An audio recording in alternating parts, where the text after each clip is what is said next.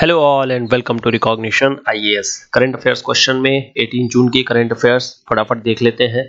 इसके आंसर्स भी देखेंगे और साथ ही साथ में इससे रिलेटेड कुछ और भी जो इंपॉर्टेंट डिटेल्स है, उसके बारे में भी देखेंगे। तो स्टार्ट करते हैं फटाफट। Let us start let us complete and let us track but before that these are our contact details and these are some of the available courses of recognition IES these are prelims special, mains special and test series based on subscription इसके अलावा current affairs series launch हो रखी है, जिसमें 1200 questions है। This will be very much useful for your civil services examination prelims examination which is going to be held in 4th of October सबसे पहला question है basically Asian Infrastructure Investment Bank के बारे में, जहाँ पर क्वेश्चन है 2015 में स्टैब्लिश किया गया था। यस बिट इज़ करेक्ट और उसके बाद से ऑपरेशन करना शुरू कर दिया है 2016 में। बिल्कुल करेक्ट स्टेटमेंट है।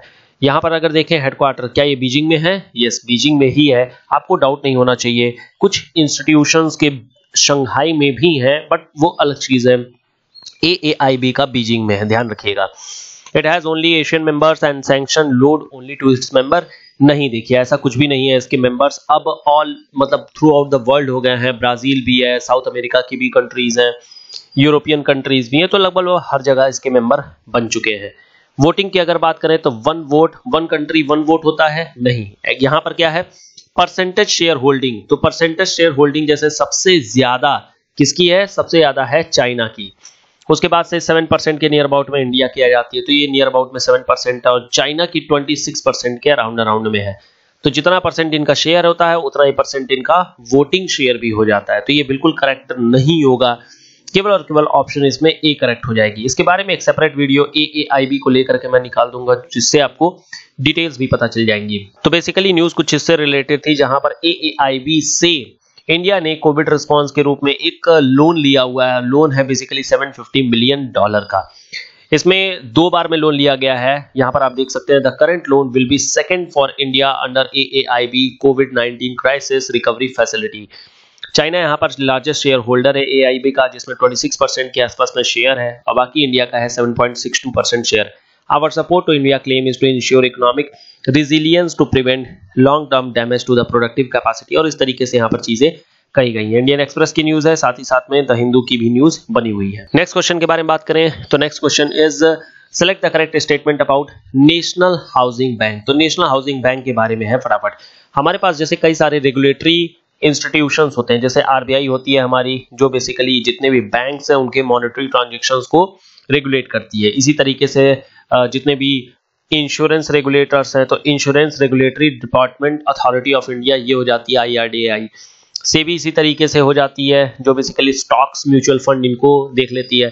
इसी तरीके से हाउसिंग फाइनेंस को देखने के लिए एनएचबी होती है। तो नेशनल हाउसिंग बैंक ये देख रही होती है, जितने भी हाउसिंग बैंक या हाउसिंग ट्रांजेक्शन होते हैं, उनको ये देख रही होती है। 2011 2007 से बेसिकली ये स्टार्ट हुई है और रेजिडेक्स ये एक इंडेक्स निकाली जाती है इसके द्वारा, जिसको बोला था रेजिडेक्स ठीक है? तो ये बेसिकली ट्रांजेक्शन मतलब कि ये इंडेक्स निकाल रही होती है रेजिडेंशियल बेसिस पे। तो ये थी इसके बारे में basic information NHB functions under the monitoring of RBI and regulate housing finance related transaction बिल्कुल करेक्ट स्टेटमेंट है।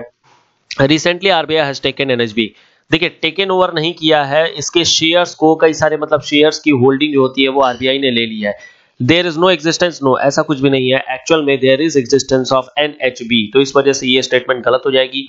केवल और केवल स्टेटमेंट वन करेक्ट होगी। आंसर इसका ए हो जाएगा। इससे रिलेटेड अगर बात करें, क्या न्यूज़ में आया तो this is basically housing financier से रिलेटेड था, जहाँ पर आरबीआई ने अपनी एक ड्राफ्ट गाइडलाइन निकाल दी है, जिसके बेसिस पे आगे जाकर के जितने भी नॉन बैंकिंग फाइनेंशियल कॉर्पोरेशन जो हाउसिंग में काम कर रहे होते हैं, उनके लिए एक गाइडलाइन मिल गई है।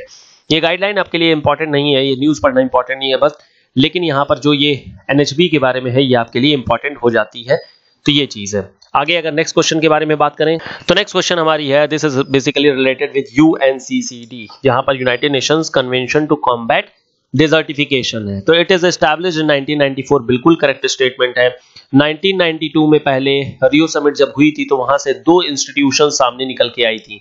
एक इंस्टीट्यूशन जो क्लाइमेट चेंज में काम कर रही होती है और दूसरी जो बायोडाइवर्सिटी को प्रिजर्व करने में काम करती है। जो क्लाइमेट चेंज के लिए उसका नाम पड़ा था U N F C C C और जो बायोडाइवर्सिटी को कंजर्व करती थी, उसका नाम पड़ा U N C B D convention to biodiversity तो इस तरीके से जब ये यूएनएफसीसीसी की मीटिंग आगे होती है 1994 में तो उस समय एक नया बॉडी निकल के आता है यूएनसीसीडी जो यही है कन्वेंशन टू कॉम्बैट डिजर्टिफिकेशन तो यहाँ पर अगर बात करें it is established in 1994 and is the sole legally binding international agreement yes देखिए, ये लीगली बाइंडिंग होता है, बिल्कुल करेक्ट स्टेटमेंट है and this is linking development of sustainable land management बिल्कुल करेक्ट स्टेटमेंट है।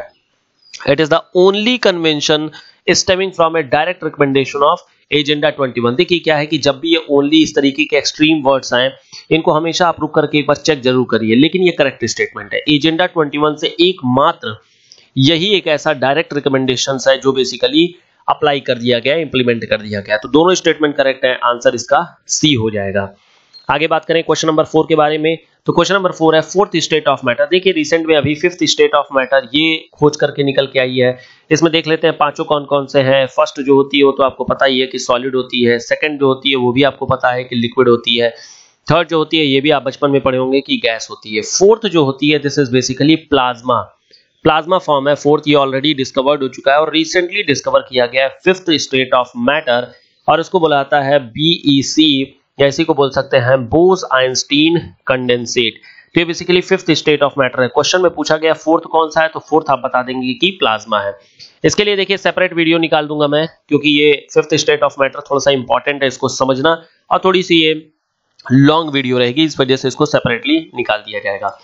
लास्ट क्वेश्चन के बारे में बात करें, देखिए, ये this is not related with actually current affairs ये केवल और केवल ऐसे ही है, पुराना करंट अफेयर्स है। और करंट अफेयर्स तो क्या, ये बहुत पुरानी न्यूज़ है।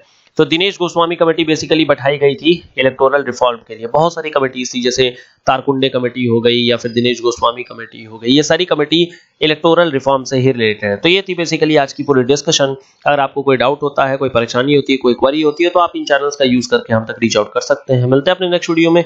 Till then good bye and thank you so much